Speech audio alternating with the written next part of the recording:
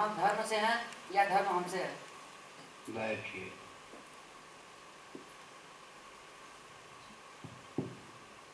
आप भोजन से हैं या भोजन आपसे है?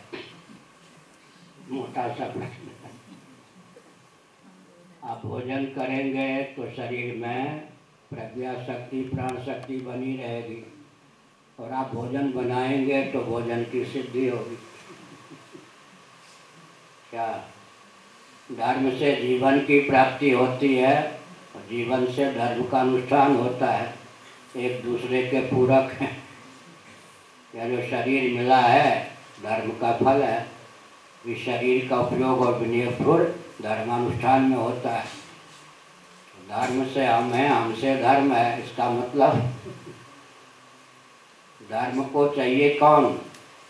अनुष्ठान करने वाला जैसे भोजन तब बनेगा ना, जब भोजन बनाने वाला कोई। हो जब भोजन बनेगा तो भोजन बनाने वाले का भी उससे पोषण होगा।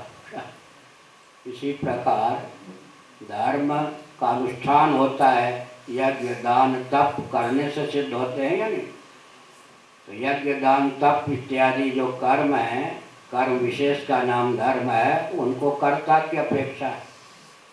लेकिन कर्ता के जीवन में दिव्यता का आदान धर्म के द्वारा होता है हम्म।